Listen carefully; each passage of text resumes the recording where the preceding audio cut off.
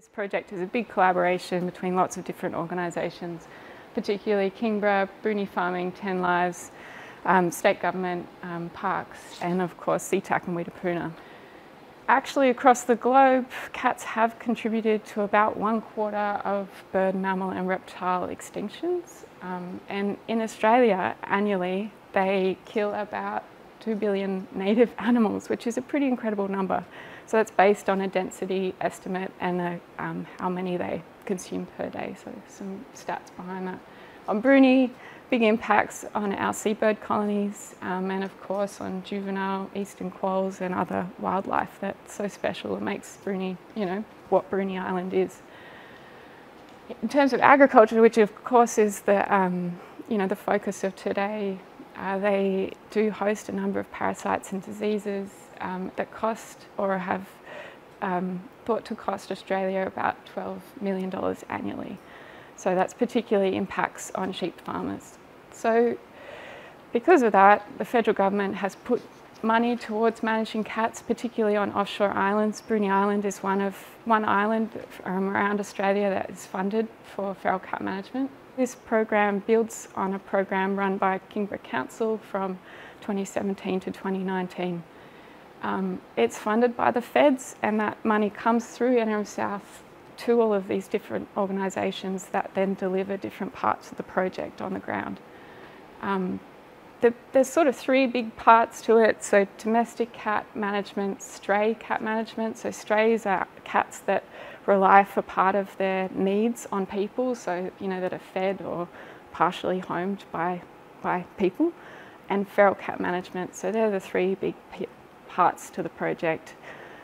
And in terms of domestic cat management, the aim of the project is, the aspirational aim is that um, everybody, all cats on Bruny are compliant with the Bruny Island Cat Bylaw, which basically uh, has a set of regulations around domestic cats. They have to be contained and microchipped and registered and so on. And that helps manage their impacts on wildlife and on agriculture. So what is toxo? And it's, it's a little single-celled organism. It's not a bacteria, it's not a virus. It's, a, it's like it's the smallest animal you can have. It's just got one single cell.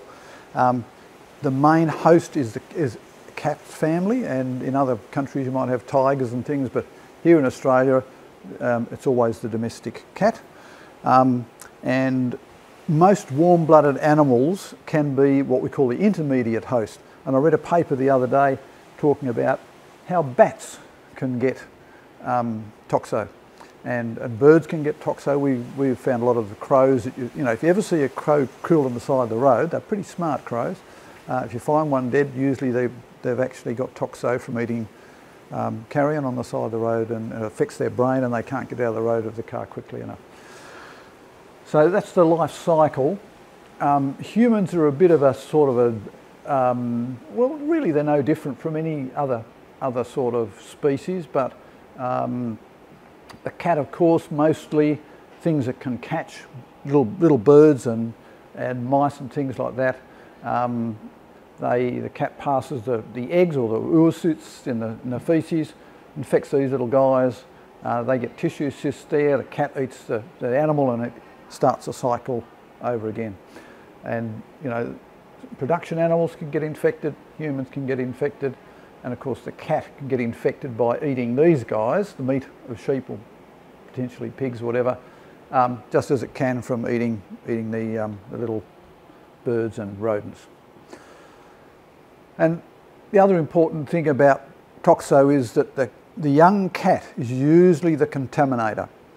And they usually get infected as soon as they start to hunt or to start to eat sheep and wildlife carcasses. Um, they excrete millions of these little eggs in the feces, but only for a fairly short time, for about, you know, um, sort of probably two or three weeks. But the thing that does the damage, especially in the cooler, um, more overcast climates like ours, is that the cysts, the little eggs, live in the environment for a very long time.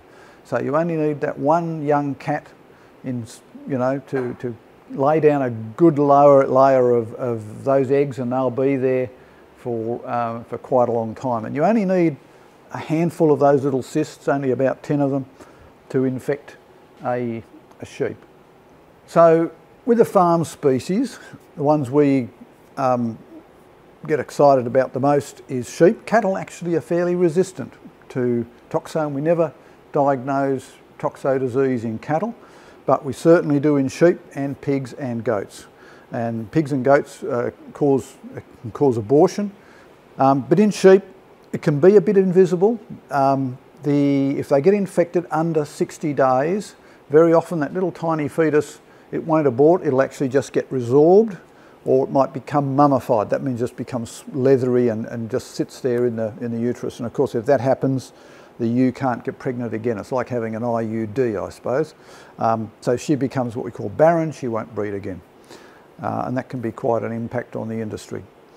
Uh, after day 60, up to day 110, um, the fetus will get infected and they can abort. They can have stillborn lambs or they can have lambs that are born and they're a bit stupid and walk around for a day or two and then die. And there's just weak newborn lambs.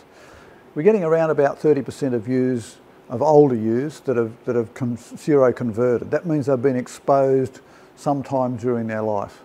Um, and assuming that, you know, most of the exposures, we know from wildlife that most of the disease occurs in winter when the, when the, the um, sheep are grazing and the wildlife are grazing close to the ground, maybe pushing into areas where they don't normally go. And, and the, those little eggs, the oocysts, are surviving really well in winter because it's, it's overcast, there's no ultraviolet light, and there's plenty of moisture. We know that most of our disease occurs just about the same time when most of those ewes are pregnant.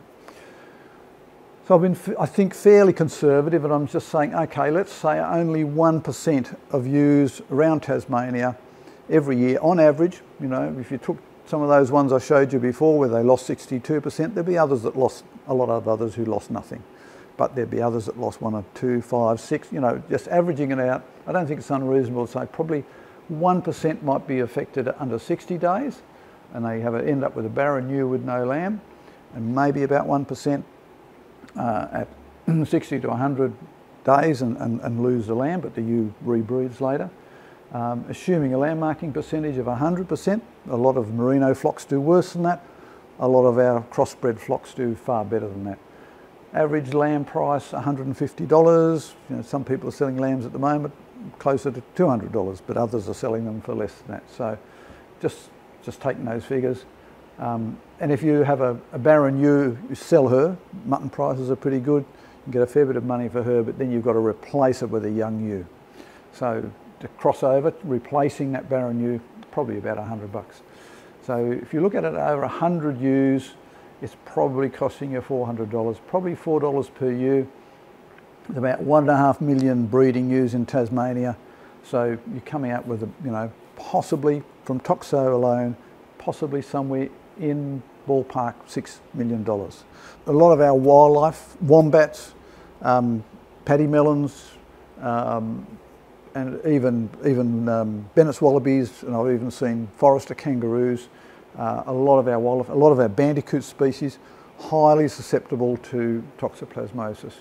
So if you're seeing signs in your wildlife, chances are that your ewes are being exposed at the same time. And then to mention humans, um, and humans can also be infected. You saw that life cycle earlier on.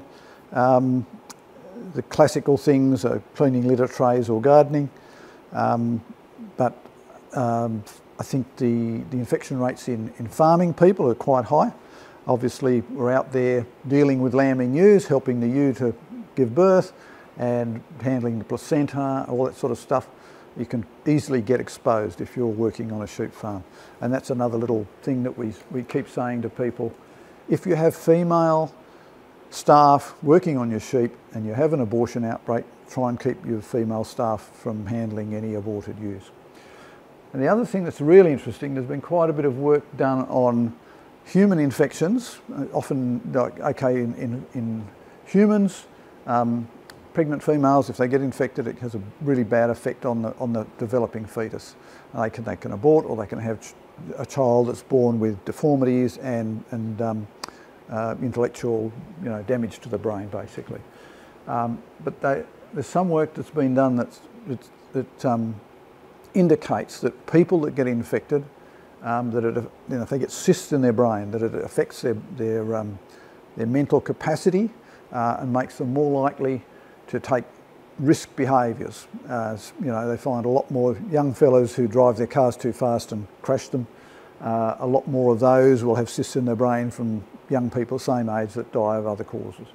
Um, and um, with the high rates of, um, you know, and, and, that, and, that's important on a farm. You're using tractors, using heavy machinery, all sorts of dangerous things.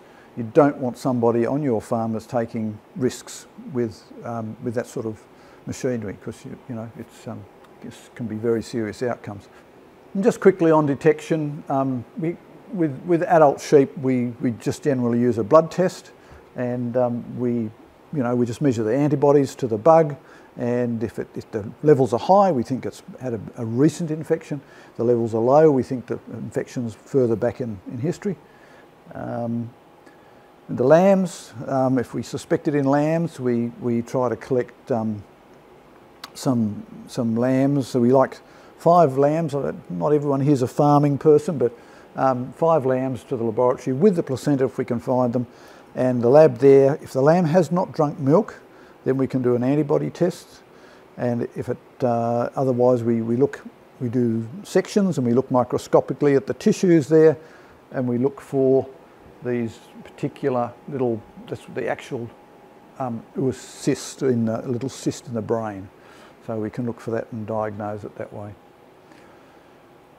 Um, in the cat, it's very hard to detect a, a, a cat that's excreting. So um, we, we can certainly, like the sheep, we can take a blood sample and, and, and, and tell a cat that's been exposed.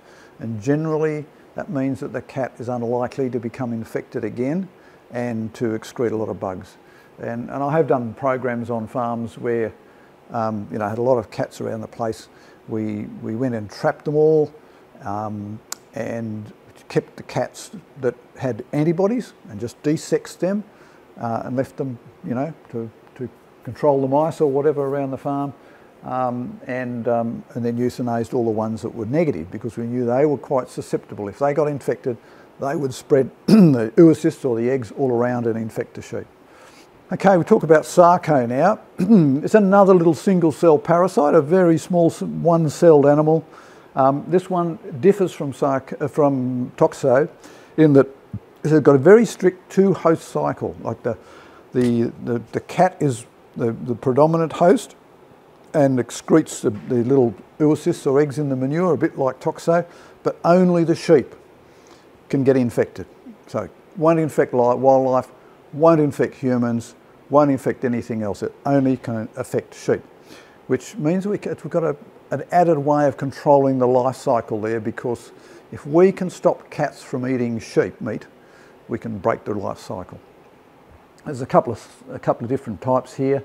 We do get a type of sarco in dogs, um, but it's microscopic and we don't even see it and it doesn't, oh, I think I've seen one sheep once that got some cysts in the brain and went a bit funny, but it's not really economically important or, or important to human health.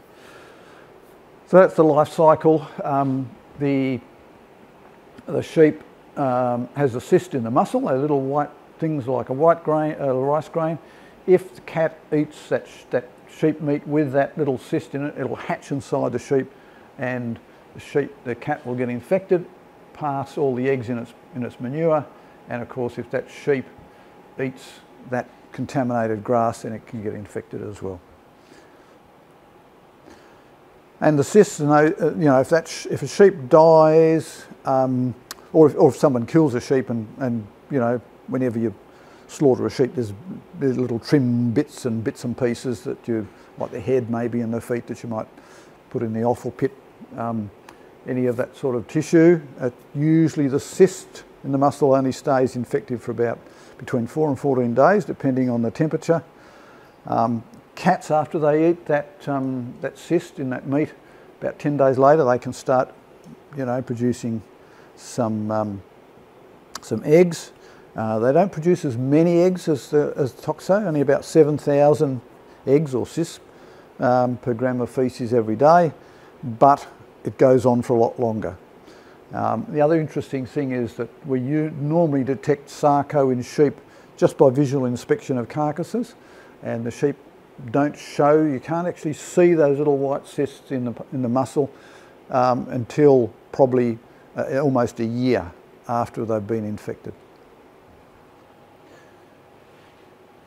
And so any cat can be a contaminator. Unlike the toxo, um, they, they, they, it's not like measles, it's a bit more like COVID. You know, you can get COVID and then three or four months later you can get COVID again. And cats are a bit like that. They can get sarco, excrete the cysts for a while, um, then they can go and, and, and pick it up again later. So they, um, so they, it's a different excretion pattern. And there's the little cysts in the muscle in the sheep. Um, very common in the diaphragm. The diaphragm's a muscle that does a lot of work in your body and has a big blood supply. Um, the little cysts end up in that, in that um, tissue quite often. Um, and the food pipe, the esophagus, and, and even the skeletal muscles. And the skeletal muscles are important because even though this is not, won't cause any disease in humans, um, it's a blemish on the muscle, and if someone saw it in the butcher's shop, they would not want to eat that meat. They would say it's, it's something wrong with it. It's got a cyst in it. You know, it's something abnormal. So, um, the you know you can't use that that meat for for um, retail. Every month, for mutton, that's adult sheep over two years of age, um, between 6 and 16% of those carcasses will have these little white blemishes and the uh, abattoir has to do something about that. If, if there's less than five, they'll just trim them out. But uh, if there's uh, more than that, then they'll condemn the whole carcass. So if you add that up, uh, on average, it adds up to about 2.3 kilograms. We've done a study and they've shown there's about, on average, about 2.3 kilograms of um, loss of meat per affected carcass. So of those 6 or to 16%, each of those sheep on average loses 2.3 kilograms. So some will be condemned, some will be trimmed. So I've worked it out for our, we've got one, one sheep abattoir in Tasmania, you know, probably around $90,000 lost in, in, in 12 months. So that's quite significant. Spread over, you know, quite a lot of sheep, but it's a, a loss that we'd rather not have. So the diagnosis in sheep, we just, just see those little white cysts at slaughter.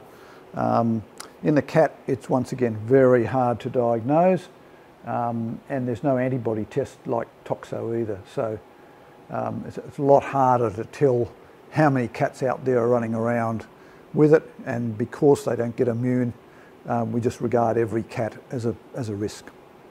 When you think about the life cycles um, and how to try and break those life cycles, then, you know, really, because, especially with Toxo, which is, is causing the major loss, we're thinking $6 million versus maybe $100,000 um, per annum to the sheep industry. Um, the only way to stop you know, on bigger sheep properties, it's impossible to clean up every carcass. It's, um, you know, you just can't do it. Sheep will die. Um, it'll be a couple of weeks before you go past that particular spot in the paddock and say, oh, there's a dead sheep. Um, so um, the only way really to get rid of um, sarco is to really, you know, is to eradicate the cats. And there's been a bit of research done which basically shows that if just this farm here decides to eradicate cats and you know works really hard on, on getting rid of their cats, they'll simply be reinvaded from the side, usually with young cats that are bred up in this area next to it. Um, and of course, you know, they're weaned, they have to find new territory, so they go to where, you know, there's, a, there's some territory here that's not being used because someone's removed a, an old cat, so they'll move into it, and of course they're much more likely to be excreting. And interestingly enough, each of those four properties that I showed you that had massive outbreaks of toxo, each and every one of them had a cat control program. And what we think happened was, because they, they created a vacuum and drew in some, some young uninfected cats initially, some, some non-immune cats, and then they got infected and, and contaminated their pastures. And of course, excuse me, um, you know, we can get rid of the feral cats, but we've also got to control the domestic cats because the Toxo and Sarco don't care whether the cat is feral or if the cat is an owned cat. Um, the thing you can control with your, your owned cats is not to feed them sheep meat. Um, even with Sarco, uh, freezing won't kill the bugs, with Toxo it will, but, but we don't even want Sarco, so um, you know, just freezing and thawing, a lot of farmers do that with sheep meat, um, that's not going to work. So yeah, you've really got to try and, you know, keep those cats in, uh, stop them getting at sheep meat. That's, you've got to try and break that, that um, life cycle at that point. Um, and prompt and secure disposal of sheep carcasses. There's a lot of good reasons to get to, to stop um, cats and other things getting at your sheep carcasses. Um, I'll cover in the next slide. And of course, you know, do not feed raw or frozen sheep meat, any sorts of sheep meat to your cats. And then dead pits, and this is something that um, Mahalia and I became experts on, on, on, on, on dead pits. Every farm has, you know, you've got livestock, you've got dead stock. Everyone has a few animals that die. In the best of, you know, the best of managed farms, there's still some that die. Um, and a lot, too many farms that just have an open pit and just throw them in and they've become, you know, we started calling them cat McDonald's. Um, then we realised, no, it was really um, Uber for cats because, you know, the farmer bought the food to them. Uh, and, uh, and, and there's other things there. Um, if dogs get into those those pits, they, there's another, other diseases of sheep which we find that very similar to sarco, where there's carcass blemishes, sheep measles, bladder worm. They're, they're when dogs get access to sheep um, um, sort of tissue and hydatids. We used to have a lot of hydatids in Tasmania. We don't have it anymore, but it could come back if we don't control access to sheep offals. Um, and, and blowflies, they, they need a, a, protein meal before they can breed, and, and that's a perfect place. And crows. Crows also breed up, um, and they can cause a lot of, they often pick the eyes out of, out of, um, out of sheep when they're down um, they breed up when there's lots of food. So we need to cover up those dead pits and stop all of those pest sort of animals getting access to food source. Um, so I've just sort of had a few ideas about ways that farmers can do that in a, you know, a convenient and cost-effective way. You're talking about uh, dead pits yep. and uh, restricting cats' access to carcasses. Yeah. Um, is there sort of like a standard depth that you're talking about? Because I'm assuming I know that bowls can dig holes and. Yeah, it, we usually work on about 500 millimetres. Yeah. You know, if you can get something half a metre underground, um, generally that's, that's enough to stop most things from digging down. Some people have told me that, that devils might be able to burrow down that far, um, but I'm pretty sceptical about that. And it depends on the design of your pit as well. I mean, if you, you know, if you have a, a fairly narrow trench and, and you fill it with fairly soft material, I, I, don't think they'll be able to spread, you know, they might be able to dig down, but I think the sides would keep collapsing, collapsing in on them. Farmers are busy. Um, a lot of them have do have backhoes. That's why I like the, the narrow pit idea. And then we, we call it a a D1 bulldozer, a shovel. You know, if you, if you sort of have all the dirt piled up there, it's not a big job. You know, you drop a, a sheep in there, and if it just fits in nicely, um, you can put a put a you know put a layer of dirt over it with a shovel fairly quickly.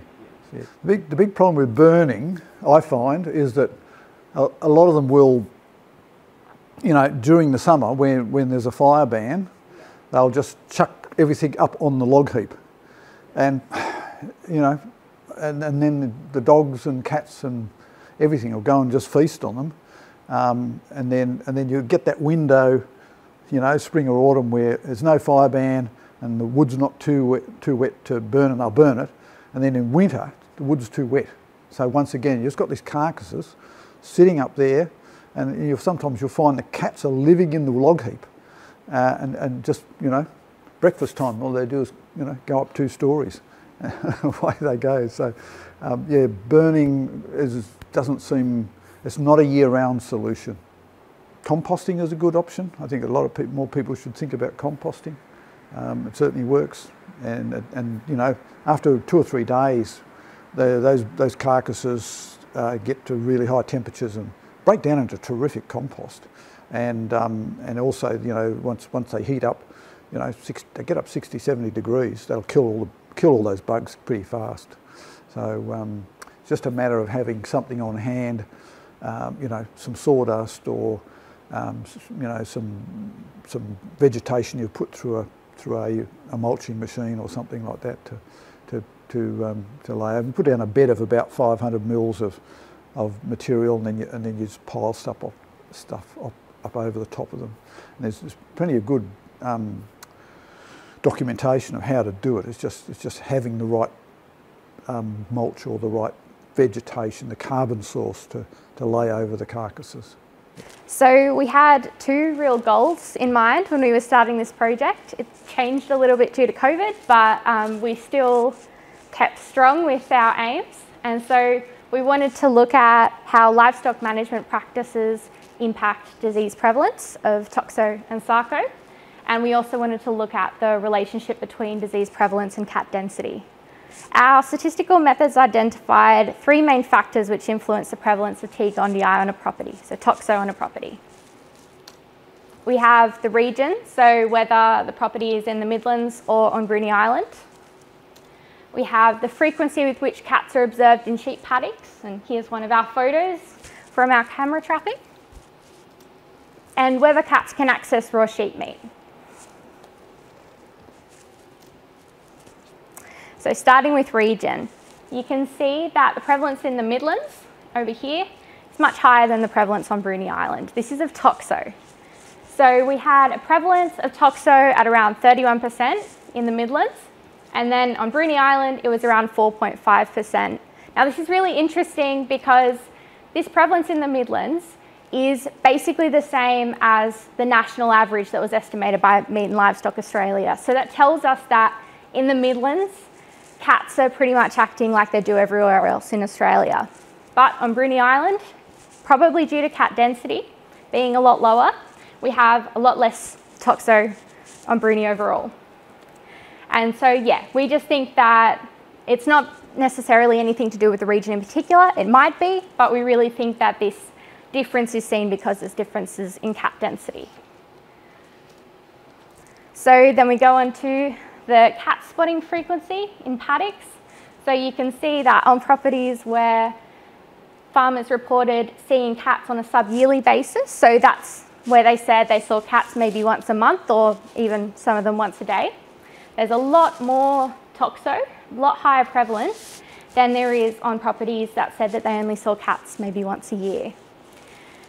But the problem with this is having a small sample size all of the properties that said that they saw cats on a sub-yearly basis were in the Midlands, and all the ones that saw it on a yearly basis were in Bruny Island. So this really didn't tell us anything more. We were hoping it would, but yeah, we, we didn't really have any difference between the regions, and so this could just be due to the regional differences. Our third risk factor, whether cats can consume raw sheep meat, we basically had properties where cats could consume raw sheep meat, which is from carcasses in paddocks or in uncovered offal pits. We had much higher levels of T. gondii on these properties where cats can access sheep carcasses than those that didn't. However, again, we had pretty small number of people in the end working with us. So only two of the properties actually restricted access via these methods, carcasses left in paddocks and in offal pits. And these are both on Bruny Island, where cat density is lower and disease is lower. So again, love to do this again and see if we can get better results, but we, don't, we didn't have, we only had 10 properties. And so we think that since consumption of sheep meat isn't really that important in transmission of toxo, we suspect that accessing raw sheep meat really just increases the food available to cats, especially in times like winter where birds and mice and rats aren't breeding as well and prey might be harder to find. And in this way, it might sustain slightly larger cat populations on these properties. We also expect that this is more important for Sarco, since Sarco does rely on cats eating sheep meat and then sheep meat, sheep being exposed to the cat defecation. But none of the properties that we had Sarco data for actually did restrict access to raw meat, so we couldn't test it. So through camera trapping, we uncovered evidence that cats breed around uncovered offal pits. This is one of our photos and this was left here for a month and I can tell you, I've looked at all the pictures, you just see these young cats and you see mum coming to and from to go hunt other stuff that's more exciting. They sit here, they play with each other here, they sleep on the nice comfy wool. This is just their little smorgasbord. So this is important. Cats breeding around offal pits is really important because less than 1% of cats are actively shedding T. gondii at any time. As Bruce said, it's only usually the juvenile cats. So it's only upon initial infection that they produce these oocysts in big numbers. And this is rarely seen in cats over six months old. So places like this, where cats are breeding, are probably much more contaminated with T. gondii than other areas of the farm. So I just had a few important things about toxo in humans because it's so interesting. So people who live on farms are more frequently exposed to T. than the general population. And this is true for really a lot of different countries. There's lots of research that's been done and it really points that people on farms tend to be more exposed. This is probably because farming, farmland is a really good place for T. to be spread. We can just see lots of transmission, lots of livestock getting sick, and this seems to just have everything that T. gondii needs to be transmitted really well. So you should also know that raw or undercooked meat can infect consumers if these cysts are consumed. It's not the best way from the perspective of toxo, but it does happen. And one study in South, South Australia estimated that 43 to 68% of lamb mince samples in the supermarkets were contaminated with T. gondii. And when we have estimates like that, this is probably why worldwide we have roughly one in three people infected with toxo.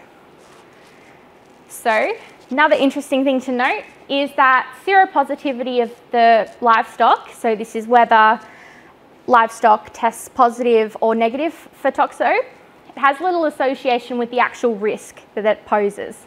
So animals like pigs, sheep and goats typically harbour many more of these cysts than animals like cattle and horses maybe. We had two main risk factors for sarco. So we had distance from nearest town and whether cats were observed around shearing sheds.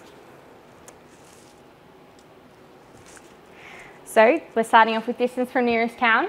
We found that for every kilometre you move away from the nearest town, the prevalence of sarcocystis increases by up to 1%. And you can see that some of these properties, again, really didn't have many properties involved, but you can see that this really increases quite rapidly. We think this is because as cats move further from urban areas, they become more reliant on food sources that expose them to sarcocystis. This is mainly sheep carcasses.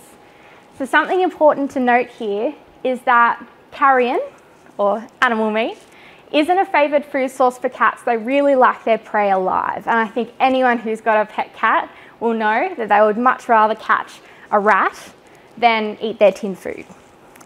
So one study in New Zealand found that scavenged sheep, where obviously there's lots of sheep, made up only 7% of the diet of feral cats. So but cats in low quality habitat or subordinates are much more likely to eat from sheep carcasses. And so we expect that these guys are more likely to spread sarcocystis than dominant cats or well-fed and loved street cats. And important to note is laboratory tests on sarcocystis found that freezing temperatures didn't consistently inactivate the cysts. So when you see this sheep carcass and it's cold and it's in the dead of winter and you go, surely nothing can be living on that. It could be. And the freezing temperatures might just keep the meat longer for the cats so that they like to eat because they don't really like off meat. Okay, so our second risk factor, whether we have cats observed around shearing sheds. You can see we had a lot of variability in the data, which we still hope to reduce down. But when cats were observed around shearing sheds, they tend to have a larger prevalence of sarco than properties that didn't see cats around their shearing shed. This could be about cat density, but we do think that shearing sheds are probably a good area for transmission to occur. So we think these are a great place for transmission to occur because there's lots of things like bits of food hanging around. There'd be lots of rodents, I'm sure, in your shearing sheds. And these attract and localise cats around farm buildings in general. So it's also an area where pretty much every sheep at some point in its life comes through the shearing shed and hangs out in the surrounding paddocks. So also important to note is that sheep tend to be stocked at higher densities in the surrounding paddocks when you're waiting, when you've got your sheep together to go through the shearing shed or you've got your sheep waiting to be released afterwards. It tends to be higher density than in the other areas. So in these areas, the sheep probably eat the grass down lower and cats prefer that for defecating in. And it also is gen generally, like Bruce said, where sheep get infected. And then once it's all, all the contamination has happened, the sheep will move out and they'll carry it on their foot to other parts of the property, or you'll have your heavy machinery moving it and spreading it all around the property. So we can also assert that based on the scientific literature, the way that feed is stored probably has an impact on disease prevalence. We didn't find it, but there wasn't much variability in the answers to our stored feed questions. So stored hay and grain tend to at attract things like mice, rats, rabbits and small birds, which are really the favoured prey animals for cats. In fact, rodents in one study made up 50% of feral cats' diet by weight. And so usually where a, a rodent will go, a cat will follow.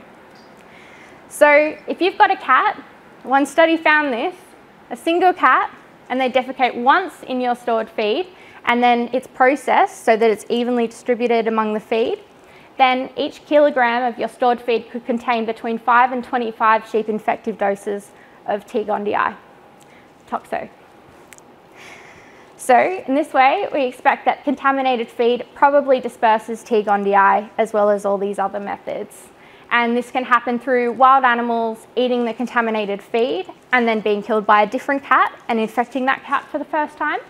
Or you might just have a high concentration of their favoured their favoured prey animals around your stored feed, which is drawing cats in and supporting higher, content, higher cat density.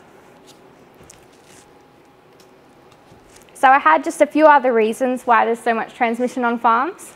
We have things like areas shared by cats, wildlife and livestock, where they come in really close contact. And this is great for, for transmission of diseases. We have contaminated hay and stored grain, which is especially important in winter, in the cold winter months. We have mice, rats, rabbits and birds attracted to the stored feed, which can then sustain greater populations of cats. We have lower vegetation usually, which can favour dispersal via wind and rain, which we've had plenty of today. We have soil disruption by livestock and machinery, spreading that all around the property. We have invertebrates like flies, beetles, worms, which can act as transport hosts and infect things like bandicoots, antechinus, some of these guys who have the highest mortality rates when they have T. gondii infection. We have own cat abandonment supplementing feral populations, which hopefully doesn't happen too much here, but definitely happens all the time in the Midlands. And then we have roadkill all along farm roads, which are keeping these other cats alive, keeping the cat density higher, and also a good option for transmitting toxo back to new cats. So I just wanted to finish on a bit of a scary statistic. So this is one of Bruce's findings on one of his papers. he found that one newly infected cat with toxo is all that's required every 12 to 18 months to maintain contamination of an area. So just one is all you need. And this is really why the feral cat control that's happening on Bruny is so important because one's all it takes. Okay, so just wanted to quickly summarise for everyone. The risk factors we found for T. gondii are region and the frequency cats are observed around sheep paddocks. But these probably both relate to cat density and hopefully when we have our cat density estimates for each property, we'll be able to replace them with our own estimates. And then we also have where the cats can access raw sheep meat, which like we said, probably sustains higher populations of cats, but is probably more important for Sarco, just couldn't be tested. Then for Sarco, we have the distance from nearest town, because town cats tend not to eat sheep, and sheep tend not to be exposed to farm cats. Usually there's a little bit of a barrier there. And then we also have where the cats are observed around the shearing shed, and we really think that just relates to cats being around farm buildings. It's just not a good idea. so I just wanted to quickly say that while this study has uncovered some potentially important findings, um, potentially important risk factors for cat-borne disease on agricultural land, we didn't have that many properties involved, and so we lost a lot of statistical power. Ideally, if someone can pick this up, now they're on the other side of COVID-19, we might get to know a lot more about how transmission of these pathogens can be prevented on agricultural land.